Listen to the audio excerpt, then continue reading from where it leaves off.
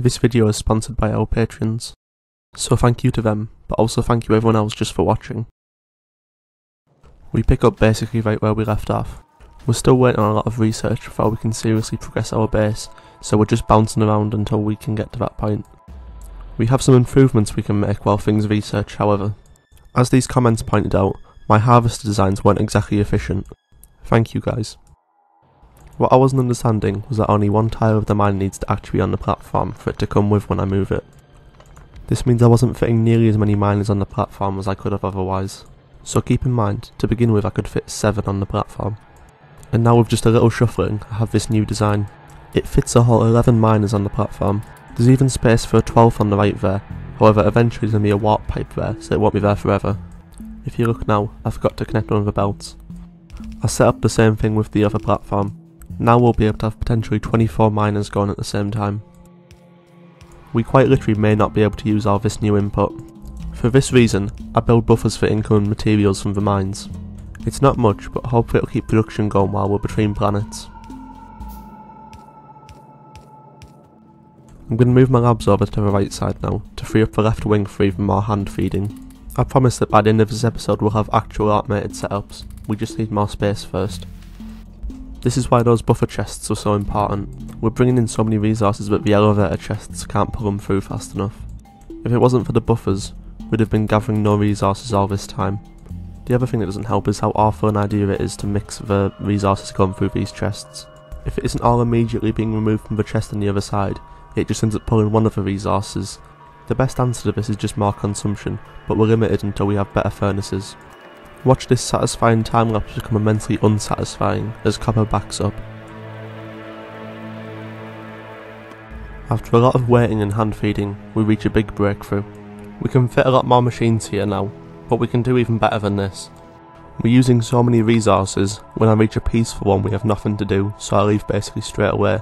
It always feels like such a prize, ending up on an alien biomes planet. With my newly built car, I'm ready to set off across the surface. Harvester platforms are best placed far away from my base.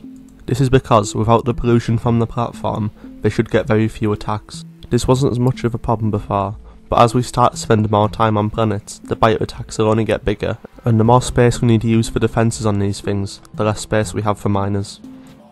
This part of the game has been a lot of waiting, but as soon as we get these researchers we're waiting for, the whole game opens up. I definitely could and should be playing a lot more actively, but the idea of pulling everything up every 20 minutes just makes me want to cry. The boredom doesn't affect me, I just get a bit dangerous to make up for it.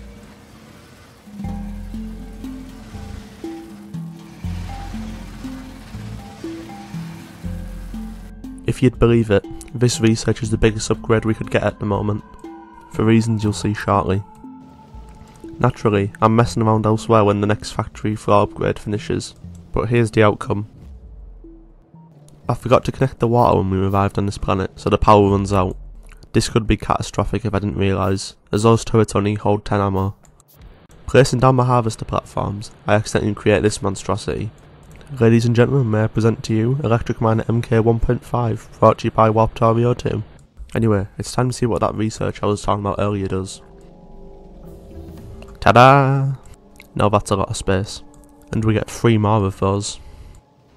This is how we're going to solve our space problem. I mean, these things practically exist for furnace stacks. I'm too busy dancing around the furnaces picking up iron for this one, but you can see it on the minimap. Here's the final result. Now that is a lot of space. These bridges are only 7 tiles wide however, and furnace stacks are 9 tiles wide, so I need to research this bridge widening upgrade before I can start building properly. Here it comes. Perfect. This will perfectly fit some furnace stacks. I'm planning it from the beginning to be able to support a full red belt of resources. That's 24 steel furnaces on either side. We didn't even have 24 furnaces on the entire factory floor at the start of this episode. Doing this without bots is absolute hell. Some sort of bot start should be a damn dependency with this mod. The first thing we build is the most important thing, ammo. Buffers are absolutely essential in this mod, so I'm making sure to incorporate them as much as possible. Here I'm building a quite satisfying buffer for iron, copper and coal. These are important if we want to make the most out of the peaceful planets we occasionally encounter. Then with that, we can finally plug in the new setup and get some real production started. It's crazy how this mod warps the perspective of the game. What would be a pre-starter base in a normal game has carried us up to the 8 hour mark, although that could just be a consequence of how slow I am. You know, having 800 hours in something doesn't necessarily mean you're good at it. The size and volume of these attacks is insane. Usually by the time we get to this level of pollution in vanilla, the biters have evolved far beyond this. It's strange seeing such big attacks from such little biters. Now it's time for the copper stack. Again all by hand because I was foolish enough to not install any early bots mods. I might have to start calling it Carpal Tunnel Tario.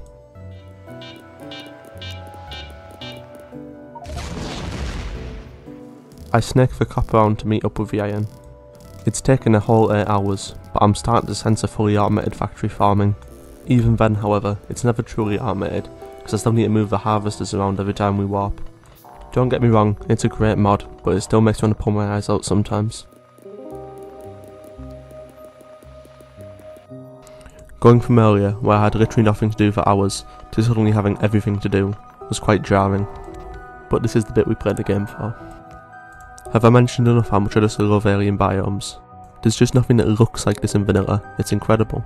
Even if the extra trees and rocks are incredibly annoying to get around. Here's more James Bond shenanigans.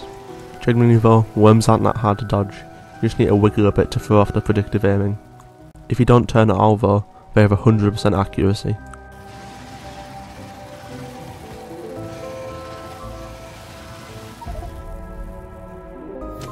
Yes, I occasionally save scum. Corp. If I ever do die or save scum though, I will show it. I'm only human though. Yeah, I really don't think I'll find anything useful here. Fuck, fuck, fuck, fuck, fuck, fuck, fuck, fuck, fuck. That could have gone worse, but we'll live with it. It looks really bad, but that could have been us. I certainly won't be making that mistake again. Meanwhile back downstairs, we have more signs to automate. I could probably make this even more compact, but I'm going to be tearing it all up later anyway, so I might as well save a bit of my sanity.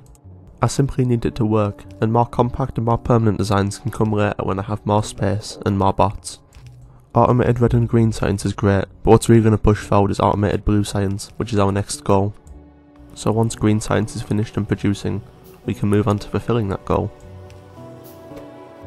We're missing a few resources before we can automate blue science production however, the first of those being steel. Ignore that horrific mistake I made up top there.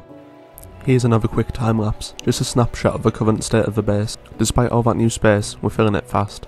You might have noticed these tanks in the background, but we're moving them over here now. These are the next resource we need for blue science, oil. Since we won't often be hooked up to it, we need a big buffer for when we're between oil fields. The first blue science ingredient we finish is engine units. I'm not building them to any kind of ratio, I just want as many as possible because they're used for flamethrower turrets, as well as other purposes such as pumps and cars which I think we established earlier. I might go through a couple cars in this playthrough.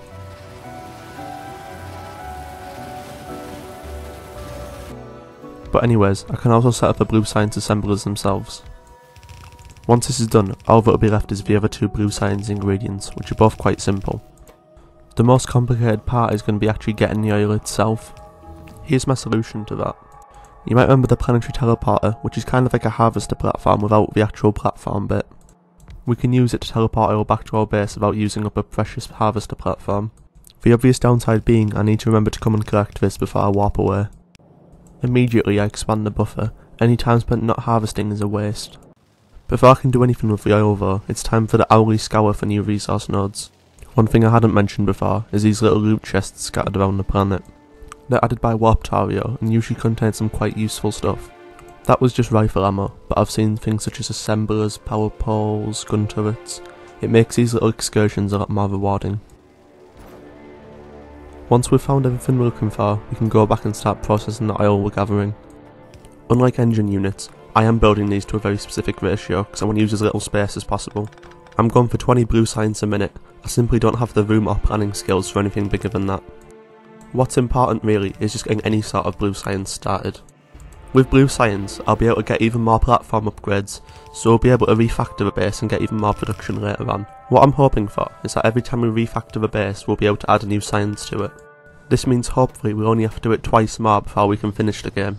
You might have noticed in the background I've been building the blue science setup. This is it finished now, we're just waiting for some copper so we can start producing red circuits. However, there was no point shuffling harvester platforms around so late on a planet. So we're going to move on to the next one and we'll get some copper there. Not long after I set off, I realised I've got to bring the eastern harvester platform with me. Thankfully I can just pop down to the harvester floor using the western harvester platform. I still managed to forget the planetary teleporter however, so if I run into oil, I'm a bit screwed. I run into copper before I run into oil however, so I just head back into my base. We have enough oil stocked up for now anyway. As you can see here, all the other sciences were also completely stopped because of no copper. It's another thing that makes this mod so interesting for me, since you can only easily mine from two resources at once. Picking which resources to mine from becomes another strategic choice you have to make. Access to blue science has opened the door to a lot of important researches I've got my eyes on. The obvious ones are mining productivity and more space. However, researchers like the one that give us a water source in the boiler floor are also very important. Here we can see some of the very first blue science balls starting to flow. I end up choosing the special warp mining productivity as my first research. This is because more ore throughput is never a bad thing. Especially now that we're producing so much science, we're going to need a lot of resources. Talking about resource shortages, we're now chronically low on iron. There's simply not enough coming in, and any that is is split across science and ammo production. I upgrade the furnace stack so it can support a red belt of ore, but it's a stopgap solution at best, because we're barely even bringing a yellow belt of ore. Our problem with iron will be solved with time and some mining productivity upgrades. Plus, we're harvesting a lot more copper than we're using, so once the buffers are filled we can use both harvesters for iron. First however, I'm using iron from the buffer chests of the old base to build this semi-automated grenade setup. We don't use military science for too much now, so it's not really worth the space to automate it, however we can hand feed some. First however, an alarm is set up to go off when the power plant has low coal starts sounding. It would appear that we have low coal.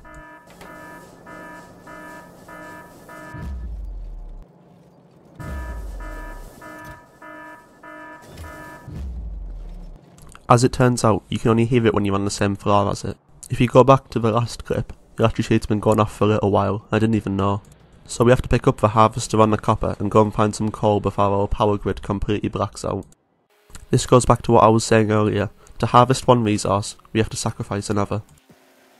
I know I could just build mines normally, but I'd have to pull them up before we leave, and without bots, who can be bothered with that? Here's a strange sight. All the inputs for the planetary teleporter on the other side have completely disappeared. This happens every single time it gets upgraded, and it's really quite annoying. Probably one of the most annoying bugs in the mod, however, you don't upgrade it very often, so it's not so bad. I can get back to some more hand-fed military science now. Again, this is all just using iron as stockpiled before we refactored the base. While I realise now that I could have, and probably should have, automated military science, it at least gives me something to do while I'm waiting, and trust me, with 20 blue science a minute, I do a lot of waiting. Contrary to popular belief, I do have a bright idea every now and again. I need a lot of oil, and I also need a lot of stone, and I found the two of them right next to each other. So I can bring them both through the planetary teleporter, and not waste a harvester platform on either of them. Of course, this also means I need to make sure I've got the foresight to not be leaving in a rush, because I won't have time to come and pull all this apart. With this stone, we're just going to belt it down to the factory floor and store it in some chests. Since at this point we're only using it for military science, it's all getting hand fed anyway. Then at one point, while I was being productive, like usual, the return of the sound. Not knowing exactly where it is, I instantly assume it's the stone outpost we just built, so I run up there and find it's completely fine. So what did break? Back to the mad rush. And while I, I decided to leave for some reason, because we couldn't overreact anymore, could we? And in the end it just turns out it was the turret on out of ammo. So we probably could have stayed here a bit longer to be fair. We had a good thing, you stupid son of a... We had... Stone. We had a... Oil. We had everything we needed. It all ran like clockwork. We fix it up, we fill up the turrets, but I still feel a bit stupid for panicking. Once we start warping, we can't cancel it. We also mustn't forget about our planetary teleporter, as we have to pick it all up manually. In some ways, we might almost consider this a blessing in disguise, because I just found this massive oil patch with high richness. This is great because the richer the patch is, the faster the pumps pump. so with any luck this will easily fill our buffer. Besides this absolutely gargantuan oil patch, this was a pretty boring planet, so we'll just skip to the good bit when we leave. I'm so used to Warptorio by this point that this base feels absolutely massive. Of course it's not really, it's so small I can fit half of it on my screen at once. Here's the moment of truth, where will we go next?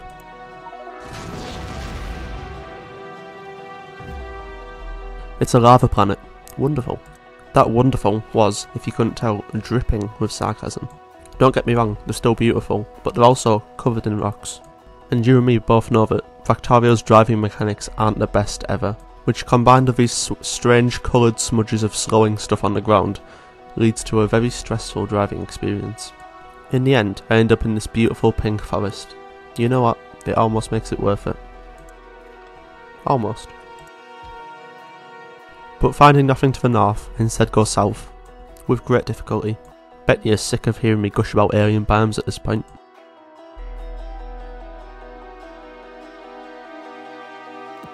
We do, in the end, come across something of use. More oil, we really can never have enough.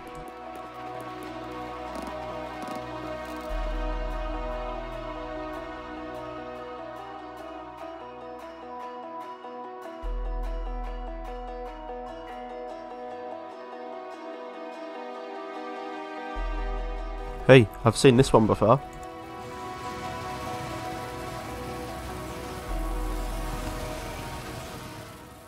Sorry. Eventually we find this nice big iron patch. I think I'll put both my harvesters here. If I can find the space. Which I do in the end, and then hopefully this will mean our iron problems are no more. Soon, we start researching better harvester platforms. Some technologies in Warptorio actually have an interesting quirk where it takes multiple science bottles to do a single research step. Which is why our red and green science have dried up so much, because every single research step takes two green science, two red science, but only one military science. You can see it briefly when I open the research panel here. Once that's done, that's another major upgrade. You can see how much bigger it is already. I'm confident we can as much as double the number of miners we can fit on this thing. First thing though, these buffers need to go. They were partially destroyed by the harvester expanding, plus we can make it even bigger now since the corridors widened slightly. I place it a bit further away this time, so next time the platform expands it doesn't destroy it again. Now that is a buffer.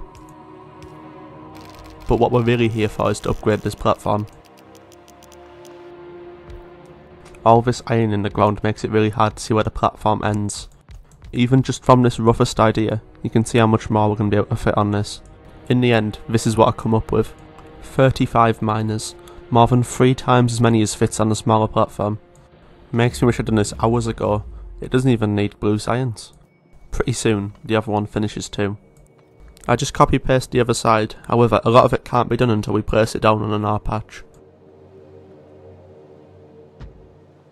Which we find eventually, and we can get to work. The reason we couldn't use that massive patch from earlier is because we had to escape that planet. Evolution reached about 35%, and our yellow ammo turrets couldn't keep up with a pure volume of medium biters. Our next step in the game is going to be rectifying that. And there's the finished platform. Here's that water source technology I've been talking about. With this, we don't need that silly pipe wall on the surface, and can graduate to a real wall.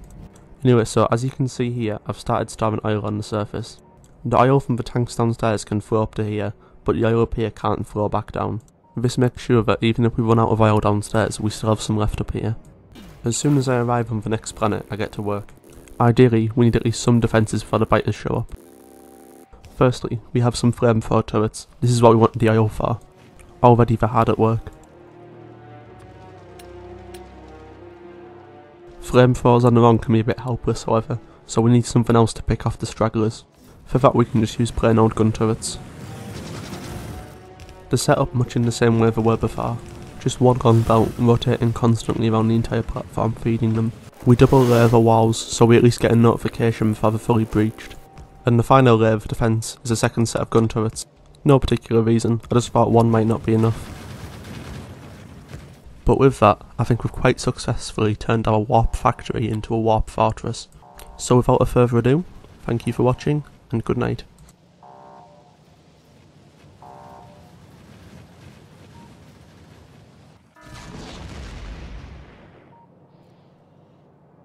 Yet again, thank you to our Patreons, Handlebars, Dick Dastardly Enthusiast, and Fen Blue.